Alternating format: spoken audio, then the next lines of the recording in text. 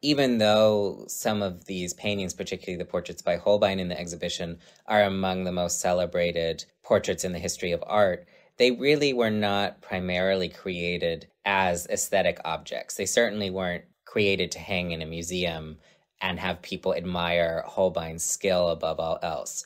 These were pragmatic objects that were meant to communicate messages about power, about loyalty, about piety.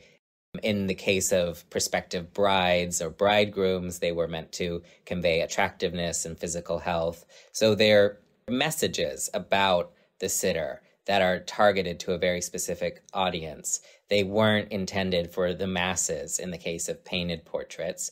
Um, it's very different when we think about printed portraiture, but a painted portrait by Holbein is intended for very specific, very elite recipients.